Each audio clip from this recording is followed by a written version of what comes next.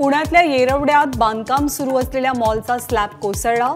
लोखंडी जाळीखाली अडकून पाच मजुरांचा जागीच मृत्यू. अनेक जण जखमी.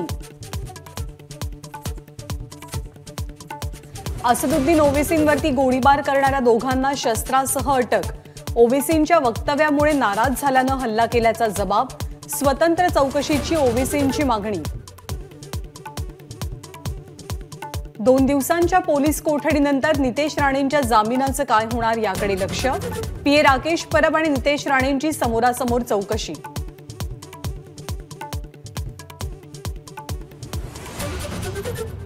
दारू आणि महिला नेत्यांबाबत वादग्रस्त वक्तव्याप्रकरणी बंडातात्या कराडकरांचा माफीनामा. गुन्हा दाखल करण्यासाठी राष्ट्रवादी आग्रही आंदोलनाचा इशारा.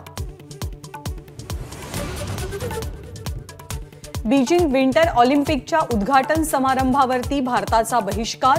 गलवान खोऱ्यातील झटापटीत सहभागी चीनी सैन्याच्या हाती ऑलिम्पिकची मशाल सोपवल्यानं भारताचा आक्रमक पवित्रा. अमेरिकी सैन्याच्या हल्ल्यात आयसिसच्या मोहरक्याचा खात्मा अमेरिकेचे राष्ट्राध्यक्ष जो बायडेन यांची माहिती सहा मुलं चार महिलांसह तेरा जणांचाही मृत्यू. आज माघी गणेश जयंती. राज्यभरातल्या मंदिरांमध्ये भक्तांची गर्दी.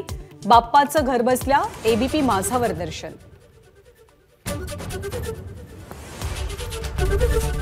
एबीपी माझा. उघडा डोळे बघा नीट.